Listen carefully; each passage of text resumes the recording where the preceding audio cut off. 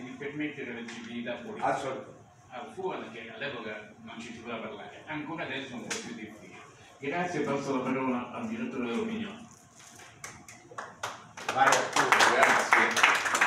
Io intanto mi scuso per il ritardo provocato dal traffico romano in cui mi sono infilato, sono stato coinvolto, bloccato, paralizzato e poi finalmente sono riuscito a arrivare. Mi sarebbe dispiaciuto arrivare fuori tempo massimo perché, perché eh, ho letto il libro di Giampiero, ma il problema non è tanto leggere il libro di Giampiero, quanto eh, ho sempre seguito l'attività giornalistica e di scrittore di Giampiero, l'ho sempre apprezzato e adesso spiego la ragione.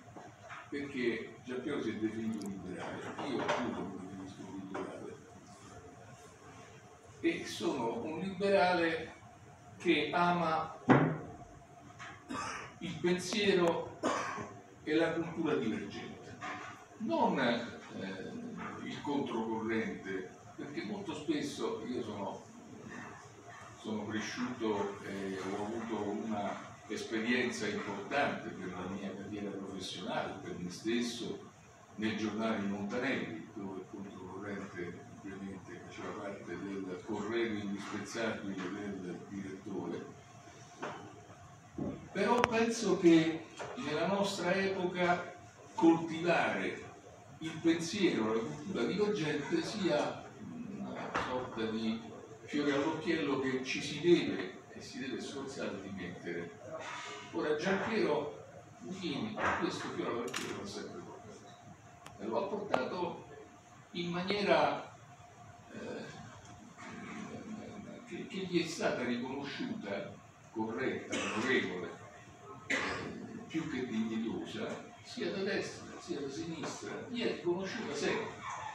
Se devo dirti quello che forse ti contestano, no? Eh, ti contestano l'abbigliamento, che è una cosa bizzarra. Eh, a Giampiero quindi si contesta l'abbi- l'abbigliamento, il colore degli occhiali, lo, lo dici anche te nel, in uno dei tuoi, o anche alla prefazione. Questa giacca è di uno dei più grandi stilisti giapponesi al mondo. Sì, sì, no, ma ma eh, vedete eh, anche in questo eh, è un segnale di cultura divergente anche se poi una cultura divergente quella di vestirsi in maniera diciamo stravagante per bucare il muro dell'indifferenza che esiste nel nostro paese e che esiste soprattutto anche e soprattutto nei confronti di chi non fa parte della cultura omologata di quella appiattita, del pensiero unico. E quindi avere il coraggio delle proprie idee, saperle poterle esprimere senza avere nessuna preoccupazione, idee che molto spesso divergono con il flusso generale, è un merito che va riconosciuto a Giampiero Nuvini.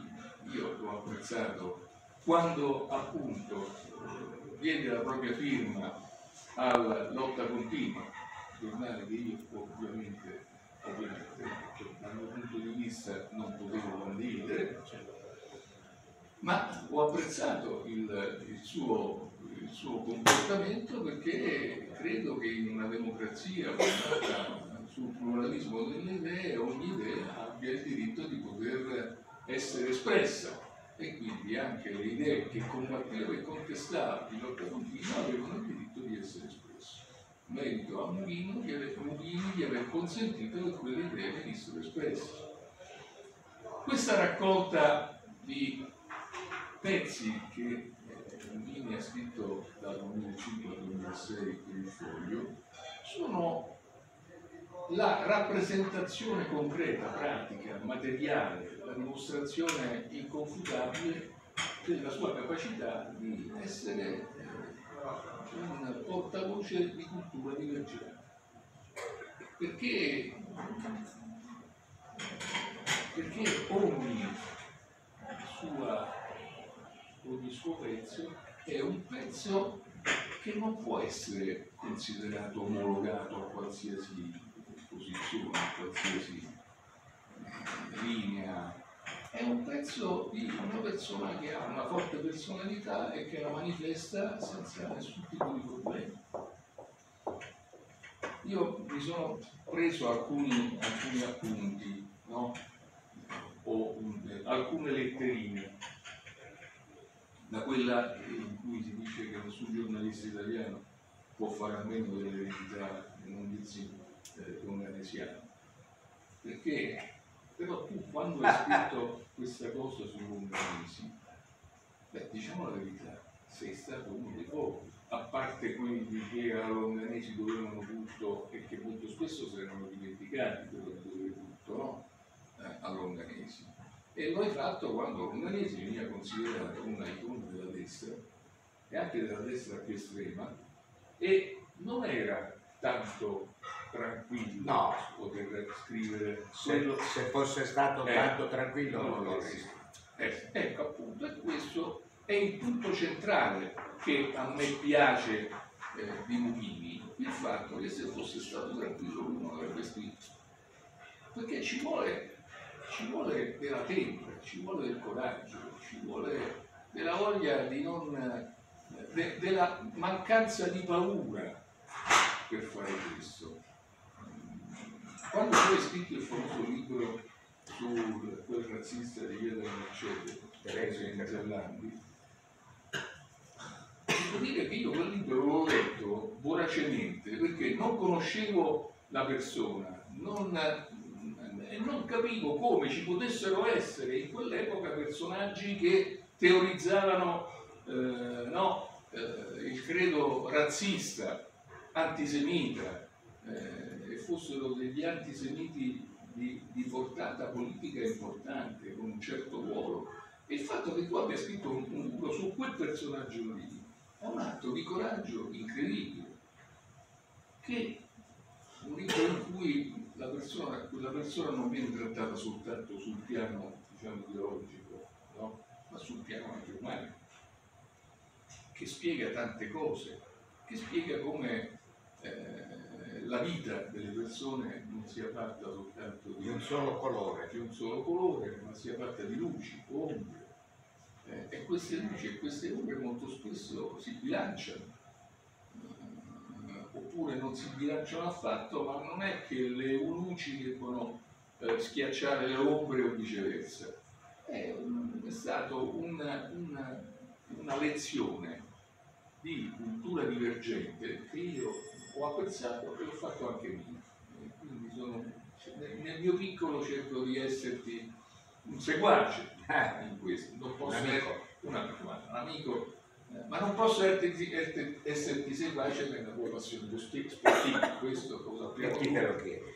Eh, No, no, beh, ma Io sai. No, no, tu lo sai che non chiedi, però i modelli poi diventano modelli, quindi cercano eh, di- trovare degli adepti o comunque anche inconsapevolmente, no? Eh, adesso qui Siamo la maggioranza razziale, sì. eh, noi siamo in maggioranza, in Questo maggioranza razziale, ma siamo in quanto razziali appunto divergenti, perché per tutta la vita siamo stati divergenti rispetto ad altre maggioranze e quindi anche in questo lo possiamo, lo possiamo essere. Un altro esempio, un altro esempio nella tua letterina in cui ricordi il cugino di Pasolini che nel suo libro era morto all'attivo militare Assolutamente. che tu hai scritto eh, su questo cugino che nel suo libro ha avuto il coraggio nel mentre eh, La politica non c'entrava un po'. che la politica non c'entrava niente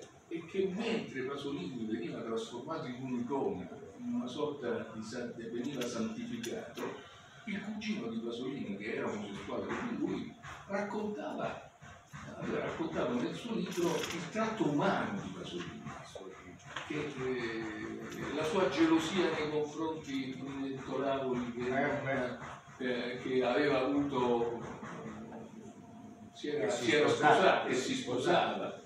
La tragedia che è la tragedia che il per matrimonio il di Davolo, che era un tratto che non offendeva la memoria o sporcava la memoria. E beh, scritto dal cugino. Scritto sì, ma era scritto, era un tratto che dava una dimensione umana Eh, che rischiava di non avere, no? come i monumenti. I monumenti, vedi, il monumento non riesce a capire che tratto eh, può, può avere, umano può avere l'uomo che poi è stato eh, messo in effigie a cavallo oppure a piedi in qualche piazza. Eh, sottolineare questo aspetto, secondo me, è un tratto autenticamente divergente e in quanto divergente liberale. Quindi io ringrazio Giampiero Mondini di quello che ha fatto e che continua a fare. Lo ringrazio mm, per- perché rappresenta un esempio che va seguito in un'epoca in cui è difficile seguire esempi di questo genere, in cui è faticoso seguire esempi di questo genere, in cui eh, si rischia l'emarginazione o si rischia, qua no, qua eh, si rischia di essere, di non essere considerato.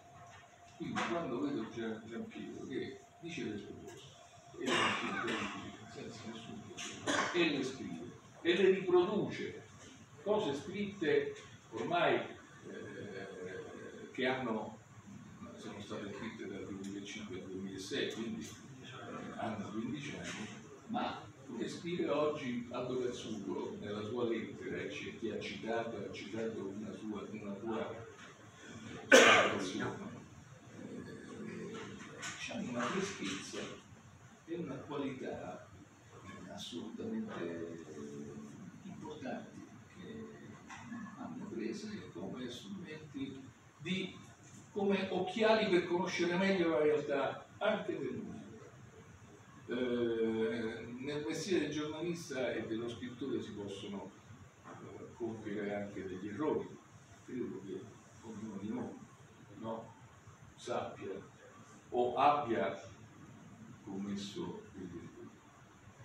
Ma quando questi errori, che poi, poi non si sa quali possono essere, conosce se stesso e si può rimproverare qualche cosa, ma quando questi errori vengono sopravvagliati da questa tempra, da questa capacità, eh, da quella che Montanelli avrebbe chiamato fragranza intellettuale, beh allora magari ce ne fossero i mulini, magari ce ne fossero.